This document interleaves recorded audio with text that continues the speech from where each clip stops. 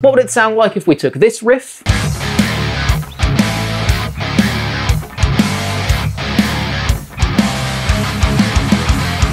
and played it in the style of these bands?